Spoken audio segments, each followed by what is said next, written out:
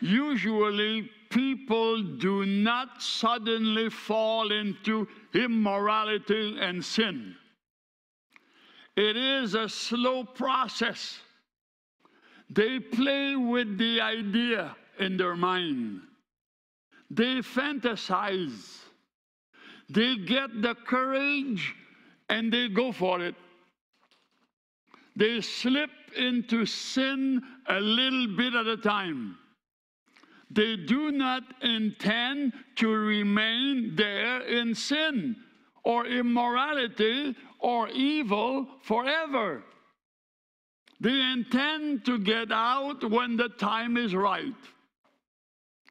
But they do not realize what has happened to them.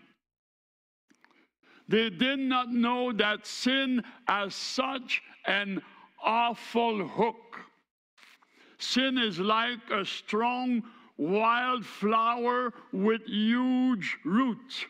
I was going to say weed, but I didn't want to trip you with the, the pun. anyway, they are now trapped in the grip of sin.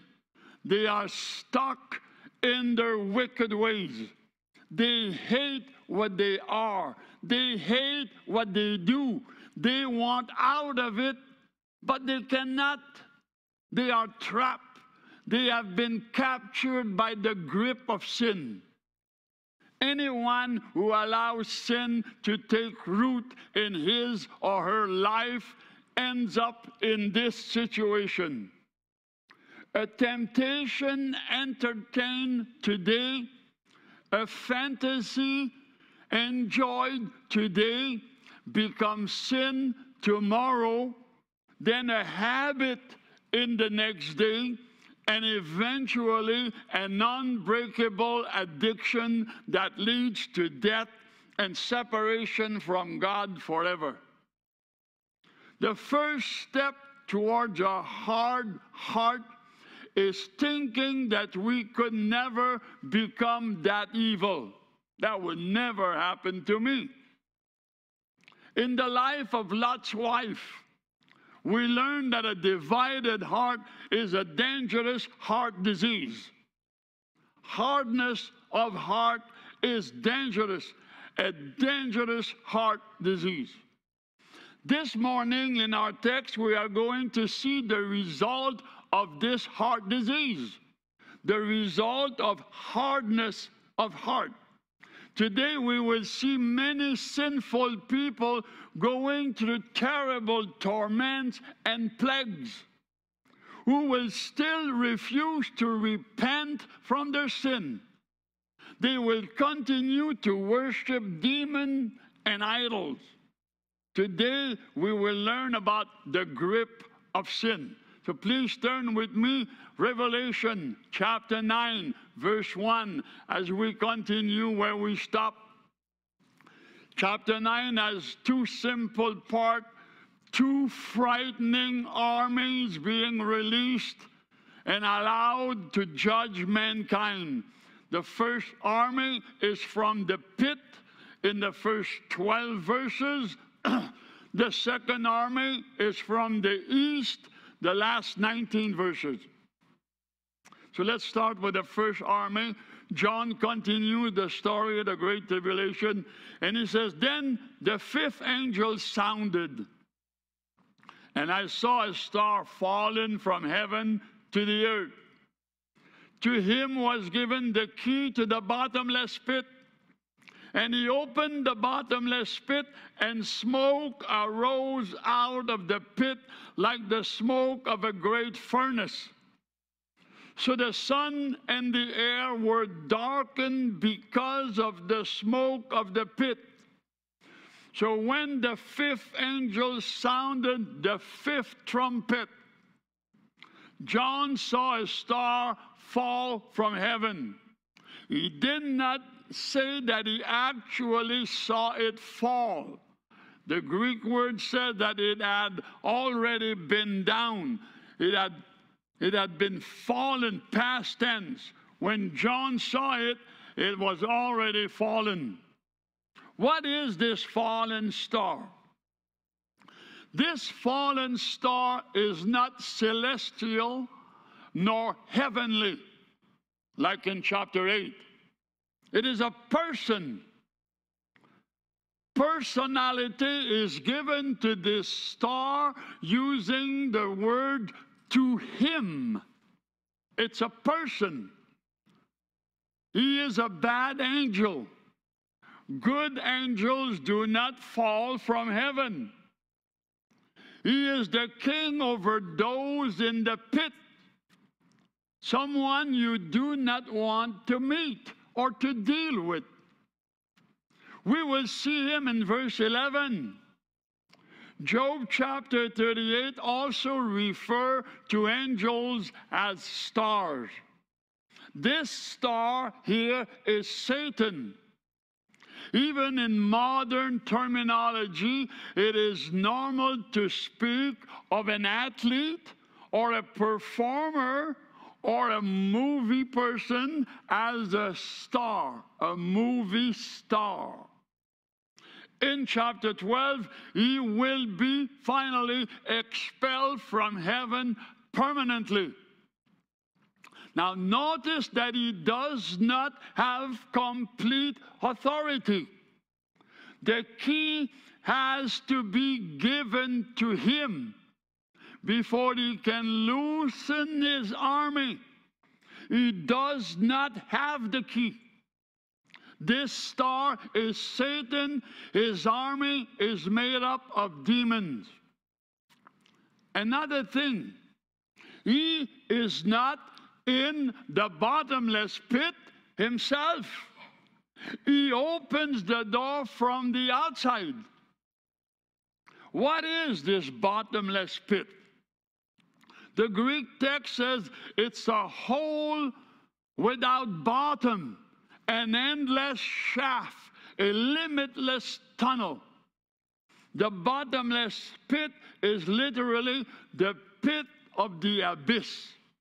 Luke makes it clear that this is the abode of demon in Luke chapter 8, verse 31. When Jesus met that mean guy, Legion, in Gadara, the many demons who had hindered him asked Jesus not to send them into the abyss, this place. Again, the same word, the bottomless pit. Later on, when we are in chapter 20 of Revelation, John will mention that Satan will be temporarily jailed right there during the Lord's reign on earth for 1,000 years. Also, later in chapter 13, we will be introduced to the false prophet, the beast who comes up from the earth, who looks like a lamb, but who is really a dragon. We are told that he comes from this place, the bottomless pit. This bottomless pit is not the eternal lake of fire, the final prison for Satan and those who follow him. But it is part of that hidden underworld kept under the Lord's authority. At this time, this fearsome army described here is locked up. They are waiting for the hour of liberation. Somewhere in this world, there is a shaft that leads from the surface of this earth down to this bottomless pit. Might be in Oregon. As the door is open in verse 2, John could not see inside. There was too much smoke. And no, you cannot use the scripture against smokers. This is not where they go. Smoking is a bad, unhealthy habit, but it is not a sin against God. Some people stretch the verse about our body being the temple of the Holy Spirit and use it against smokers. Need to be gracious, give them time, pray for them, they'll quit. John said that the smoke came out as the smoke of a great furnace, not of cigar or cigarette. It's interesting that Jesus compared hell to a furnace of fire in Matthew chapter 13. Remember when Abraham looked towards Sodom and Gomorrah in Genesis 19 after God had destroyed these cities? What did he see? He saw nothing but smoke ascending like a, the smoke of a great furnace, like here. And there in Genesis 19, that's the first mention of smoke in the Bible. John goes on. He says in verse 3 Then out of the smoke locusts came upon the earth, and to them was given power, as the scorpions of the earth have power.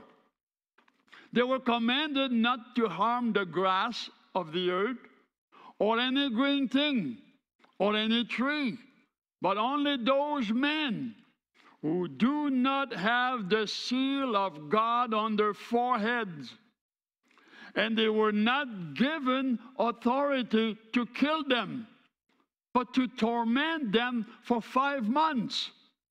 Their torment was like the torment of a scorpion when it strikes a man. In those days, men will seek death and will not find it. They will desire to die, and death will flee from them through this thick smoke, locusts came out upon the earth. We are not told how many they are. What are these locusts? They are an army of demons who have the appearance of locusts. So they are compared to locusts in verse 3. The eighth plague on Egypt in Exodus chapter 10 was a devastating swarm of locusts. People who have never encountered these insects have no idea of the damage that they can do. When God wanted to judge his people back in the Old Testament, he sometimes sent locusts to devour the harvest. These here are not literal locusts. Why not? For four reasons. Reason number one, they do not devour the green vegetation. These creatures are prohibited from devouring the green vegetation in verse 4. The normal diet of a locust is grass, trees, green things. But here they go after people. That is weird. Reason number two, they have intelligence. They are able to discern between those people who have the seal on their forehead and those people who do not have it. There's nothing worse than a smart locust. Then, reason number three their torment is like the torment of a scorpion. We will see in verse 10 that they have tails like scorpions and stings in their tails.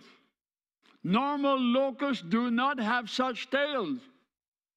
The scorpion ranks with snakes because of a venomous sting that they have in its tail. The locust is not like that. And then reason number four, they have a king over them. I told you they were smart. They voted, they appointed a king. Proverbs 30 27 state that a normal locust does not have a king. But these demonic locusts here have a king. This is not a discrepancy. Solomon is talking about real locusts. Here, John is talking about demons, and their king is Satan.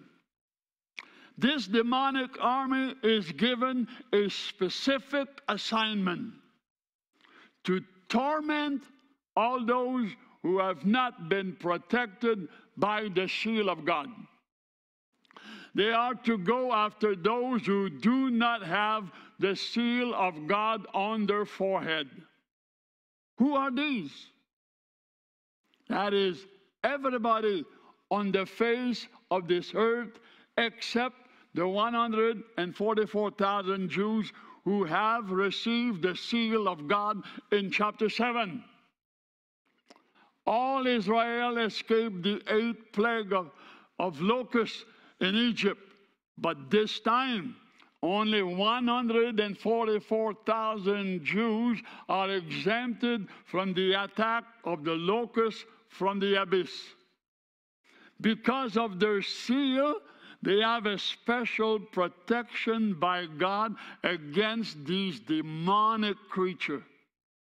This army tortures all those who do not have the seal of God on their forehead. Verse 4. They are not given the authority to kill anyone in verse 5, proving that they are totally under the authority of God. God is in control. Their power is to torment people, but not kill them. The wound of a scorpion is not usually fatal, but it is exceedingly painful. I'd rather have a root canal than be tormented by this scorpion. For five long months, that is torment, but no death. If you have ever been stung by a scorpion, you understand the kind of pain that is mentioned here. The normal lifespan of a locust is about five months. They go from April to September. And this is the length of time for this judgment here five months we have in verse 6 the extent of the pain, the extent of the torment. It is so bad. People want to die. They seek death, but they are not able to die.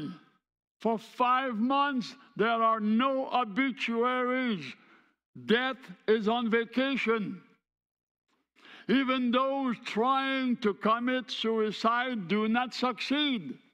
Nobody dies for five months. It will be a horrible time. Death is sometimes a blessing when the suffering is more than people can handle. So it will be a great torment with demons inflicting pain like scorpions, with no way to escape it, even through death.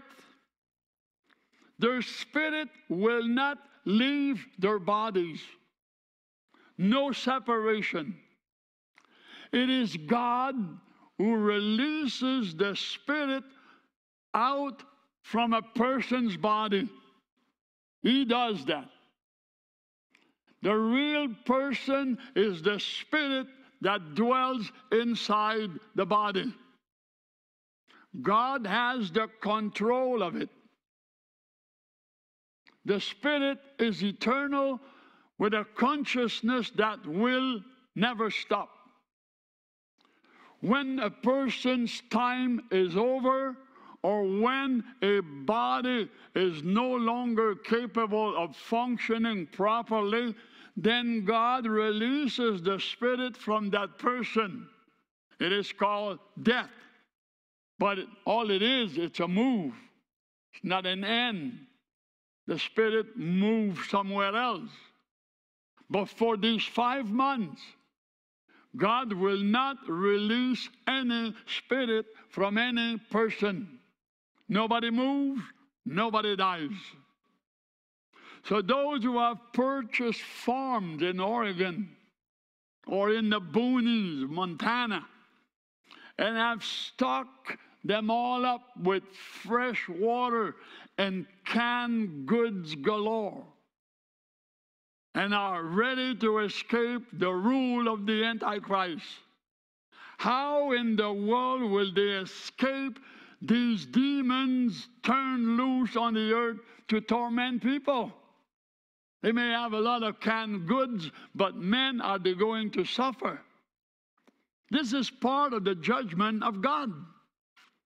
No one will be able to escape this no matter where they go, except the 144,000 male Jews. Today, not all demons are rampant on earth, but there will come a day when demonic activity will increase on the earth. For generations, Satan has been invisible. But one day he will become visible, especially during that time. John continues, he says in verse 7 The shape of the locust was like horses prepared for battle. On their heads were crowns of something like gold, and their faces were like the faces of men. They had hair like women's hair, and their teeth were like lions' teeth. And they had breastplates like breastplates of iron, and the sound of their wings was like the sound of chariots with many horses running to battle. They had tails like scorpions, and there were stings in their tails. Their power was to hurt men five months.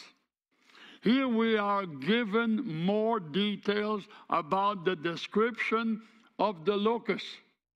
It confirmed that they are not normal, regular locusts that we know. Remember that John had to describe things he had never seen before in his life. In his description, in verses 7 to 10, he mentioned eight things about them. First, he talked about their shape. He says it is like a horse prepared for battle. Not a plain horse with nothing on it, but a horse prepared for battle. You probably I've seen those horses in movies having like a skirt around them and a metal plate over their head with two holes for their eyes. So that's the shape. Then he talks about their heads. He said they're covered with yellow crowns made of something like gold, but not necessarily gold. It could be something yellow in color. Then he moved to their faces. He said they are like the faces of men. Not really faces of men, but like it, meaning maybe they have similar feature two eyes, one nose, one mouth, but something like a man. Then their hair. Their hair are like women's hair. Again, not necessarily women's hair, but like it, meaning maybe they have long hair. Then he moves to the teeth. He said they are like lion's teeth, possibly big and vicious looking. Then their chest. Their chest is like a breastplate made of iron. The breastplate covered the thorax from the neck to the navel. The scaly black, the, the scaly backs and the flanks of the locust do resemble somewhat a coat of mail or a breastplate. Then their noise. They make a noise with their wing that sound like many chariots with many horses running to battle.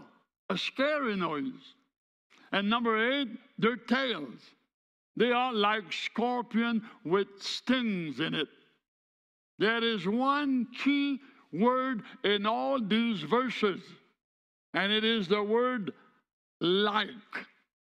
It is a dangerous word. John used it a lot trying to explain things he had never seen before. A man may look like a woman, but he's not. So be careful not to take those things and to make it the chest is the breastplate, the hair is like a woman. It is like, but like is a dangerous word. But how would you like to come face to face with one of those? How can anyone defend himself against one of those beasts? They have power to hurt people wherever they are. And they have it for five long months. Remember that the Holy Spirit is now restraining evil on earth. He will hinder evil until he is removed. When the church is removed because the Holy Spirit dwells in the people of the church. But after he is removed from this earth, look out. You don't want to be here. Some people will turn to God after the rapture of the church and may suffer. John goes on, he says in verse 11, and they had a king over them, the angel of the bottomless pit, whose name in Hebrew is Abaddon, but in Greek he has the name Apollyon. One woe has passed. Behold, still two more woes are coming after these things. Here we are given more information about the fallen star. The fallen angel that we saw in, chap- in verse 1 of the chapter. His name in Hebrew is Abaddon, and in Greek, Apollyon. If you take a look at the definition, both names mean the same thing destruction or destroyer. So their king is Satan the destroyer. Jesus said in John 10 10 that Satan is a destroyer. He came to steal, to kill, to destroy. Chapter 8, verse 13 clearly specified that there were three woes three trumpets to come. Only one is past. There are still two more to come. It does not get any better. Now, at verse 13, we see the second part. Now we see the second army. It's not an army of demons, it's an army from the east. John goes on and he says, Then the sixth angel sounded and I heard a voice from the four horns of the golden altar, which is before God, saying to the sixth angel who had the trumpet, Release the four angels who are bound at the great river Euphrates. So the four angels who had been prepared for the hour and day and month and year were released to kill a third of mankind. So, as the sixth angel sounded his trumpet, John hears a voice from the golden altar. That's the altar of incense. It is not the brass altar for sacrifice. We saw in our last study that there are two altars in heaven, very different one from the other. This altar had four horns at the four corners. The voice come from the four horns. John says it is the altar where the prayers are offered to God. So after sounding this trumpet, this angel is told by the voice coming from that altar to release the four angels who were born. Verse 14. Who are they? These angels have to be wicked because no holy angels would be bound. It appears that certain angels are kept by God in chain specifically because of their fierceness. They're too fierce to loose. They are so fierce and horrible that God keeps them in chain for the protection of mankind. Now God loosens four of them, and they are set free upon the earth. Here we are told where they are bound. They are at the river Euphrates. Why there? We do not know why. John does not say, but we know seven things about this area. We know that the Garden of Eden was there. It is the birthplace of civilization. We know, number two, that sin originated there. Number three, we know the first murder was committed there. Number four, we know the first war was fought there. Number five, we know that the flood started there and spread over the earth. Number six, we know the Tower of Babel was erected there. And number seven, there, the Euphrates River divides the east from the west. So these four angels had been prepared, had been waiting for their signal to move. It does not mean that they knew the hour, the day, the month, or the year that they would be released. We see in verse 15 that they have a job to do, and it's a terrible job. Their job is to kill one third 33 and one third percent of mankind. Remember, one fourth, 25% of the population is killed at the opening of the fourth seal in chapter 6. Here, one third, 33% of the remaining people is killed by these fierce angels. By this time, about 58% of the population is gone. If there are 8 billion of people at the beginning of the Great Tribulation, then about 3.5 billion remains. The earth will not be a fun place to live then. Make plans not to be there. John goes on, he says in verse 16, Now the number of the army of the horsemen was 200 million. I heard the number of them. And thus I saw the horses in the vision. Those who sat on them had breastplates of fiery red, hyacinth blue, and sulfur yellow. And the heads of the horses were like the heads of lions, and out of their mouth came fire, smoke, and brimstone. By these three plagues, a third of mankind was killed by the fire and the smoke and the brimstone which came out of their mouth. For their power is in their mouth and in their tails. For their tails are like serpents having heads, and with them they do harm. Now, coming from the east of the Euphrates, an army of 200 million. John tells us that he heard the number clearly, but the word million did not exist in his time. The word million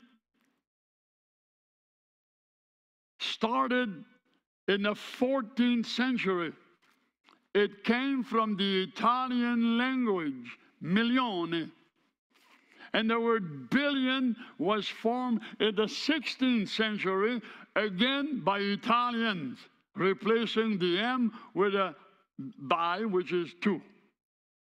Most likely back then, it was 200,000 thousands. At the time John wrote this, the population of the entire world was about 400, 500 million people. Such an army was ridiculous. The Earth's population did not reach the 1 billion mark until 1860. It is interesting that China has confirmed that they have right now an army of 200 million soldiers in uniform. Napoleon once made the statement China is a sleeping giant, and God pity the generation that wakes him up.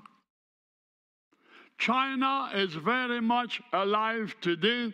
It represents 25% of the world's population. If we take the people of the East and the people of the Orient and the people beyond the Euphrates rivers, we have most of the population of the world. Bible commentator J. Vernon McGee said, Suppose they start moving. That's scary. Napoleon was right way back then when he said, Do not wake up the giant. McGee also said, I quote him, he said, From the time of Alexander the Great, the white man has ruled. He has had his day. May God help the white man when these angels are loose. He will not stand a chance. That's what he said. He was right.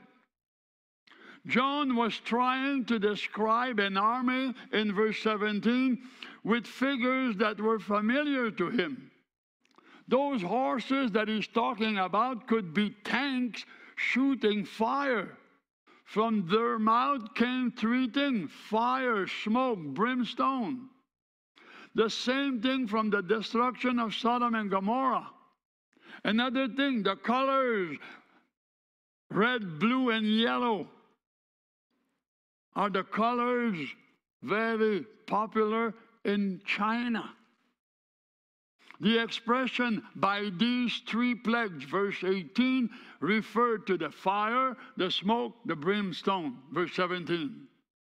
John either explained how one third of mankind was destroyed in verse 15, or an additional one third of mankind was killed by these three plagues alone.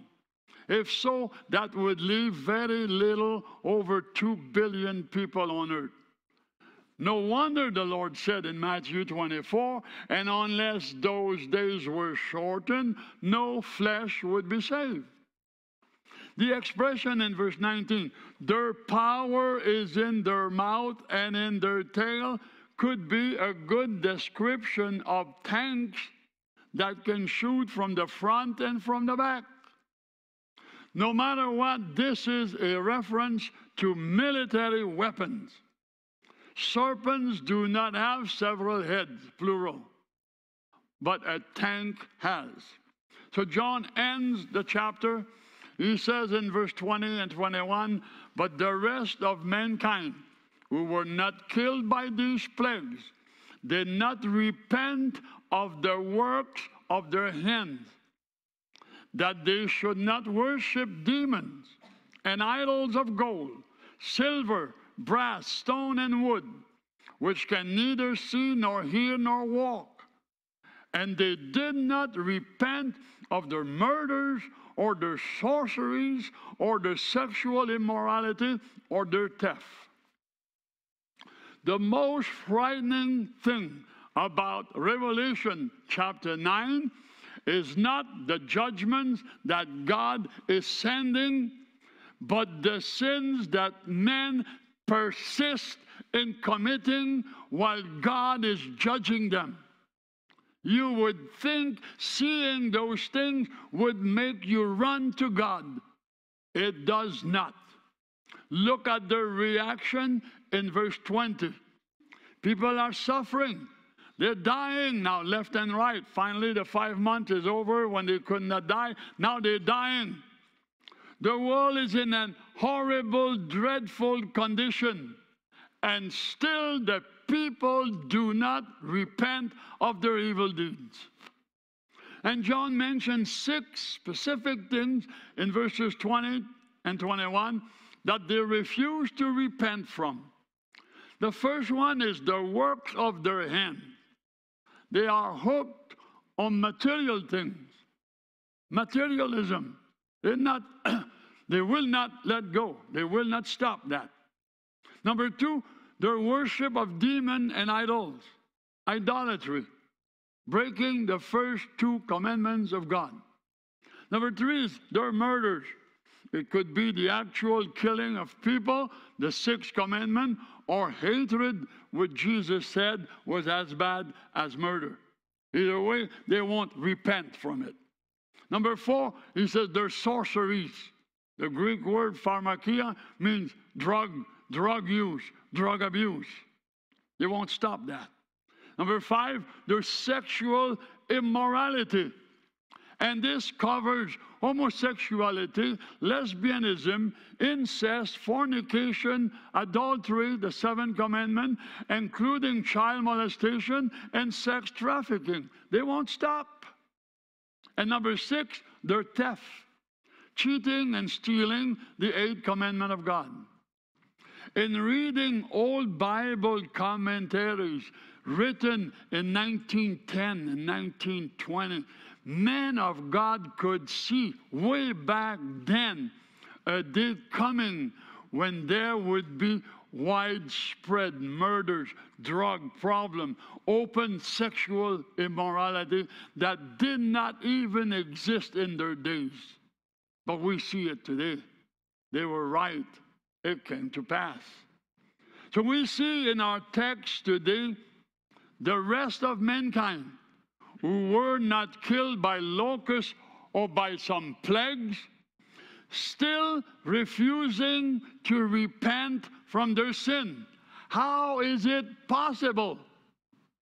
What kind of a person would refuse to repent, seeing and experiencing such thing? A trapped person, a person captured by the grip of sin. He cannot repent. These people were not born that way. They did not become evil overnight. People do not fall suddenly into immorality and sin. They slip slowly into it, a little bit at a time. It is a slow process. They never intended to be absorbed, to be captivated, to be gripped by sin. It started innocently. They played with the idea in their mind. They fantasized.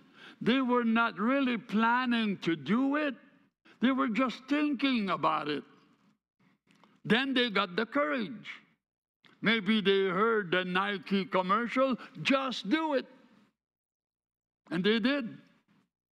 Maybe they were mad at someone, mad at something, and they went for it. Because that's when people really go for sin. When they're mad at someone, mad at something. They slipped into sin. They did not intend to remain in sin forever. They intended to get out when the time was right. They were sure they could get out whenever they wanted. But they did not realize what happened to them. They underestimated the power of sin. They did not know that sin had such a hook. Sin has deep roots. They are now trapped by the grip of sin, stuck in their wicked ways. They probably hate what they are, hate what they do. Probably deep inside, they want out, but they cannot. They are trapped. They have been captured by the grip of sin. we see here that the judgments of God do not always bring people to repentance. It does not here. These people's heart were so hardened that even those awful plagues did not drive them to God. It drove them further away from God. Their heart was so hard, the hook of sin was so strong, so deep, they could not stop. They could not get out. Job, remember old Job, in arguing his case in chapter 9, says, Who has hardened himself against God and prospered? The answer is no one has. There is a warning in Hebrews chapter 3, verse 13 that says, Encourage one another daily while it is called today, lest any of you be hardened through the deceitfulness of sin. Hardness of heart is a very dangerous heart disease. It can cause people to be trapped, to be captured by the grip of sin. What is the answer? What is the solution? The best thing to do is be aware of the power of sin. Be afraid of it. Do not venture into it. Do not play with it. Do not start the slow process. Do not play with the idea in your mind. Do not fantasize. Be afraid of sin. What may seem like fun has a terrible hook. Stay away from sin so you won't end up in the grip of sin. We see today in our text the grip of sin. Those people had sinned for so long that even what they saw, the great judgment of God, things they never seen before, did not convince them to stop sinning. As we continue, we will see again. It's going to get worse in the book of Revelation, and again, people will refuse to repent. Sin has an incredible grip on people. You may wonder why in the world did Judas Iscariot went to hang himself? That sin of his was so ingrained, he was captivated by sin, he could not repent. The heart is a funny thing if it is tender, it will think right, it will do the right thing, it will ask for forgiveness. But if the heart is hardened after years and years of continuing in sin and refusing to repent, it's a dangerous heart condition. I'd rather have a heart problem than that hardness of heart problem is more dangerous. So may the Lord be with you. May the Lord bless each and every one of you who came today, spend time with the Lord. May He touch your heart. May He soften your heart. May He keep your heart from stubbornness. May He protect you from evil. May He protect you from the grip of sin. In Jesus' name we pray. Amen.